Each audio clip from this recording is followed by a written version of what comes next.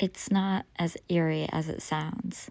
Coffenbury Lake was actually named after one of the first settlers and first judge of the county, George Coffenbury.